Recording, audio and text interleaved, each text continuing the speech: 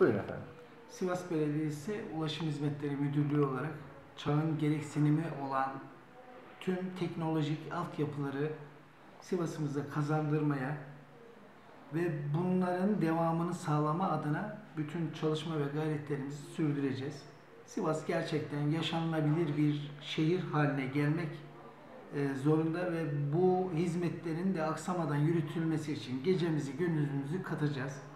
Teşekkür ediyorum.